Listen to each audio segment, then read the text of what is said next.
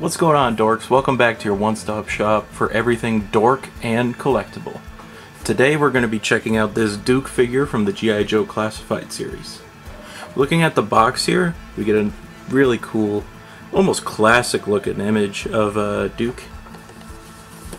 On the side, we get another shot. Whoops. We get another shot of the Duke. We, like all the boxes, they come with this sweet background shot of all the various figures that hopefully they're doing all these in the line. You get a little side shot here. And there he is. Alright, now that we've looked at him in the box, let's crack him open. Starting off with uh, Duke's accessories, we get the backpack that just ports right onto Duke's back. Looks nice. I appreciate that they used a different color for the shovel on his back instead of making it all flat green. He's got various pouches on here. Looking good. Next up, we got his little sidearm pistol. He does come with a holster, which is really appreciated that at least it's not stagnant in there, that you can't take it out. Nice looking pistol. Next up, we got his rifle, looking very nice. I love the the blue here and the gold. His little scopes, his foregrip, magazine stock, looking very nice. The only thing that would have made this gun any cooler is if the magazine could come out. Alright. Alright, here's all of Duke's accessories together and unfortunately, I could not find his binoculars.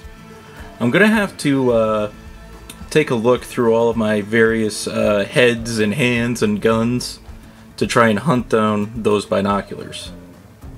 Alright, now that we've taken a look at all of his accessories, let's take a look at Duke.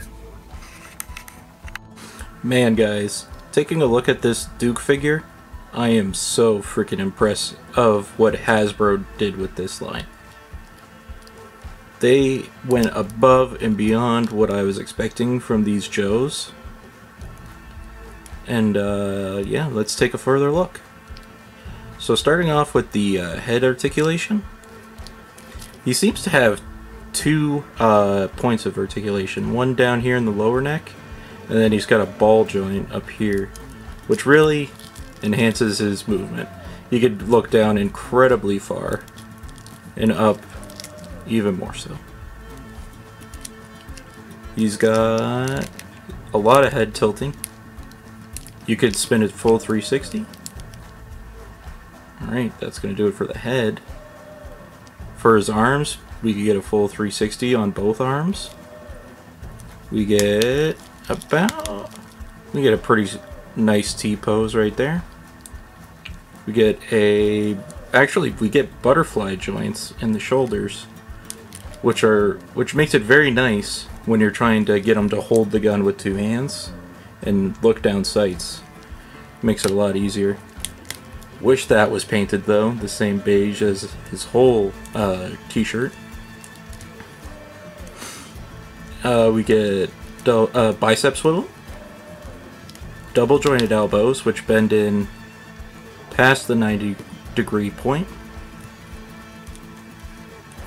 wrist that spin fully, hinge in, does the other one as well? Uh, yeah, it does. Also, we get two gun holding hands on Duke. And next up, we... Oh, also, talking about this little bandolier slash belt for Duke. It's really nice that they made it out of this soft material.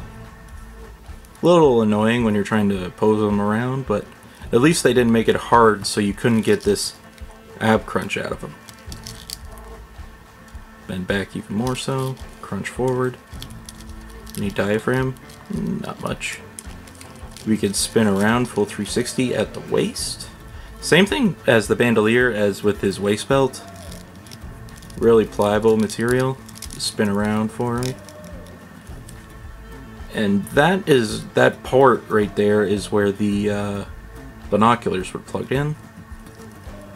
This back port is for the backpack. Checking that out. Ports in nicely. I prefer them with no backpack, but it's your choice. For his leg articulation, you can kick out well past the 90 degree point. We've got double jointed knees, which can't quite kick himself in the butt. We get upper, an upper thigh cut. Also, I think we get a little hint of some drop down hips. Let me know what you guys think, if that counts. I think it does.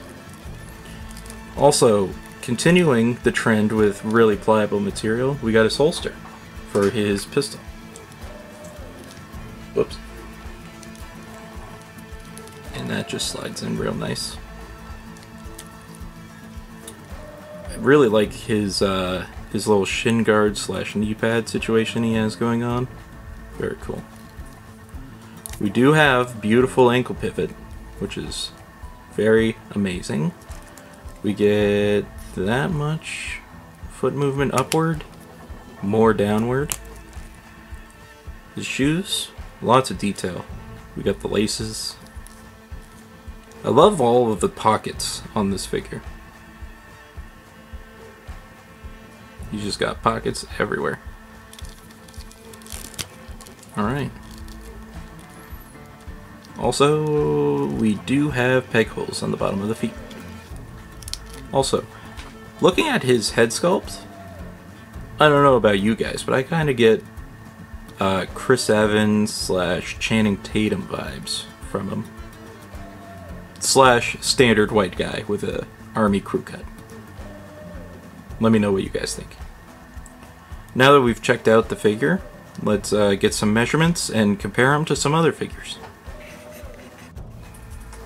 For our Duke figure, he is standing pretty much at the 6 inch point.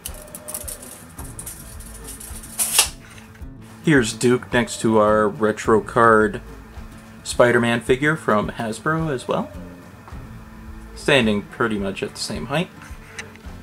And here we have Duke standing next to the John Stewart Green Lantern from McFarlane Toys. Alrighty dorks, that's going to do it for me on this figure review. As always, don't forget to subscribe if you want to see more figure reviews from me. Also, leave a comment down below if uh, you're as surprised and pleased of these G.I. Joe classified figures as I am. And don't forget to drop a like on this video. Thank you. Goodbye.